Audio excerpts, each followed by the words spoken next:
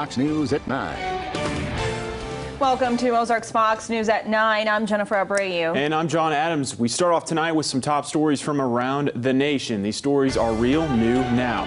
Bernie Sanders is running for president in 2020.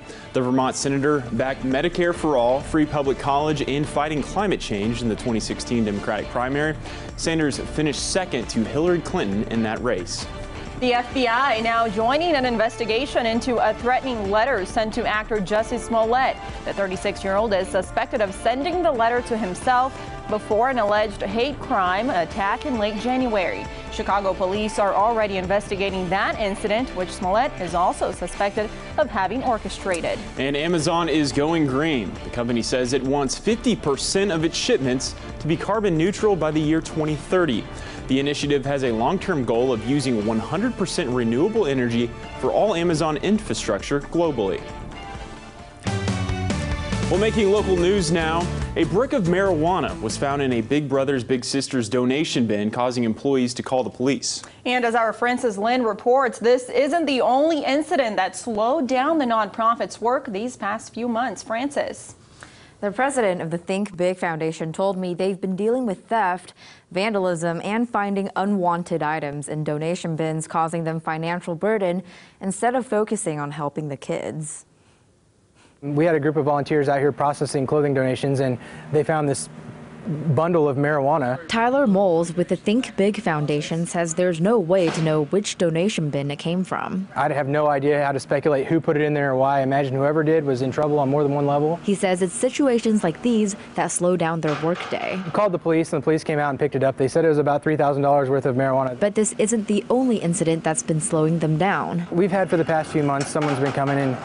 At first they were just digging in the dumpster, then it went came to uh, taking the windshield wipers off our collection trucks. They even took a battery off of one of our collection trucks. They broke into a storage trailer. Not having windshield wipers on their collection truck, especially during winter weather, makes collecting donations difficult. We run a pretty tight schedule with our trucks to try to make sure we have these bins, 56 bins all over Springfield area. And we want to make sure every morning we pick up those bins. If anybody's left something outside the bin, which happens from time to time, we get it early before whoever owns the property sees it before it's a, before it's an issue. So when they're unable to use their own vehicle, they have to send an employee to an auto parts store to get new windshield wipers. I mean, these little things, it sounds like, oh, you know, you're out 20 bucks for windshield wipers, but you're also out payroll time, fuel time, and opportunity cost on, on the pickup. We're competing with 2,000 other nonprofits in our region, so having our own sustainable revenue source is, is pretty key. Trista Herzog with Big Brothers Big Sisters explains how the Think Big Foundation plays a significant role in their revenue. So when we have theft,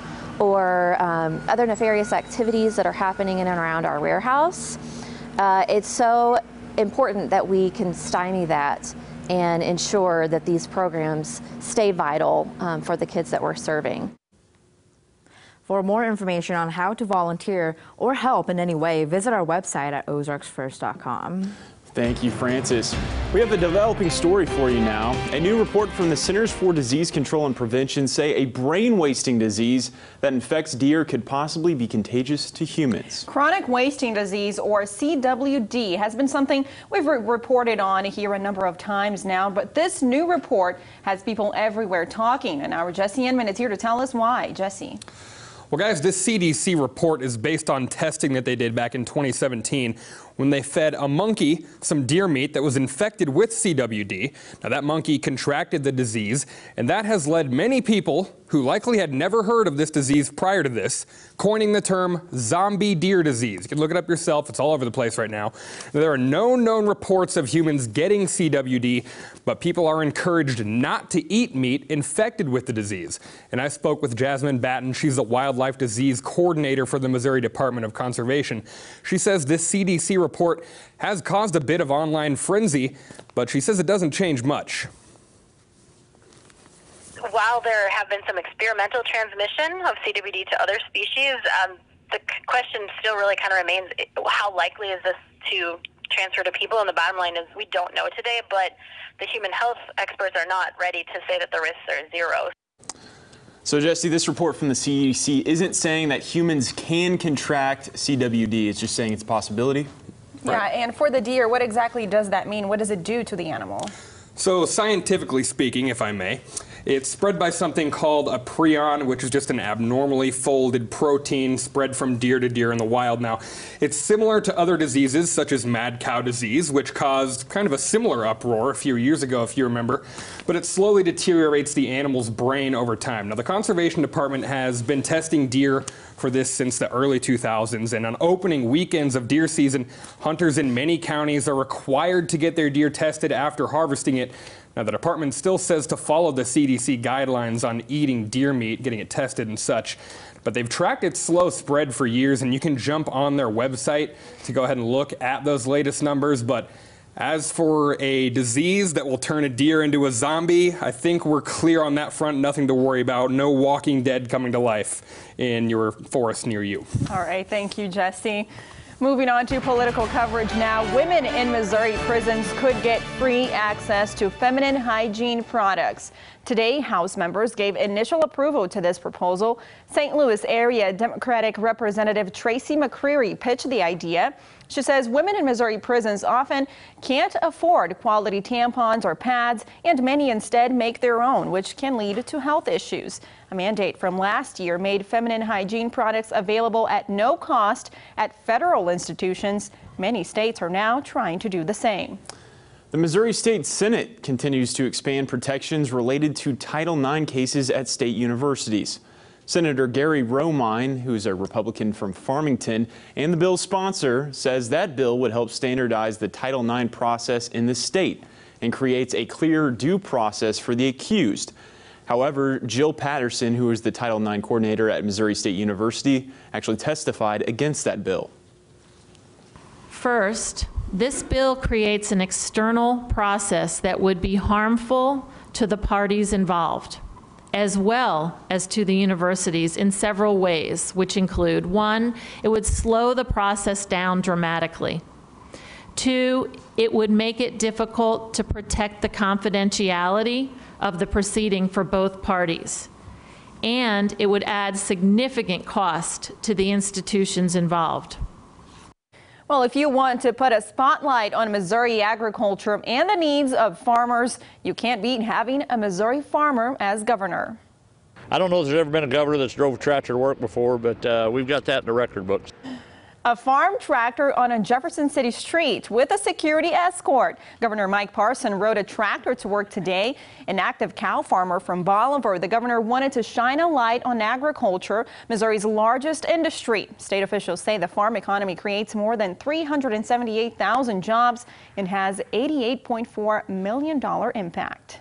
Well, we have a traffic report for you now, and it's not Governor Parson driving his tractor to work. MoDOT is actually warning drivers to watch out for pedestrians on North Glenstone while crews fixed a damaged crossing. The, the, pedestrian signal crosswalk on North Glenstone near Kearney was damaged over the weekend during a car accident and it will be replaced when new parts come in. MoDOT crews do not have a timeline for repairs as of now, so pedestrians are urged to use extreme caution when using that crosswalk until it's repaired. We have some new information for you now. You may remember last night we told you about this iconic photo and the man in this picture actually died a couple days ago. Well, today crews worked to clean spray paint off a statue of the iconic duo. It's just sad to see anyone uh, in this day and age choose to purposely do damage to something that brings great pride to the community. Hashtag Me Too was sprayed on the woman's leg. This just days after the man in the original photo, George Mendonca, passed away. It's left some convinced it's a statement, but one that others say could have been voiced elsewhere. Well, this visionary behind the fashion company Chanel has passed away at the age of 85.